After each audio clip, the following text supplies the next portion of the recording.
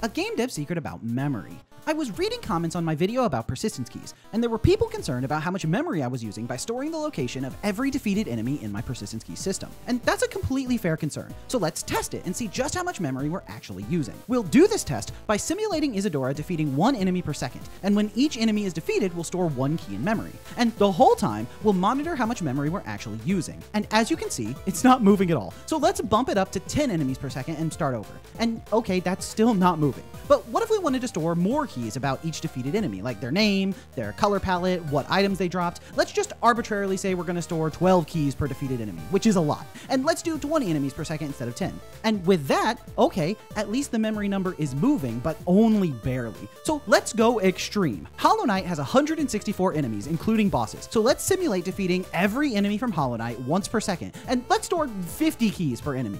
And now we're actually using some memory. If we defeat every enemy in Hollow Knight once per second and store 50 different pieces of data in memory for each and every one of those defeated enemies, after a minute straight of that, we'll have defeated nearly 10,000 enemies and stored just about half a million keys. And it takes up just about 20 megabytes. So unless I wanted to release Isadora's Edge on the Nintendo 64, I think it's to be fine.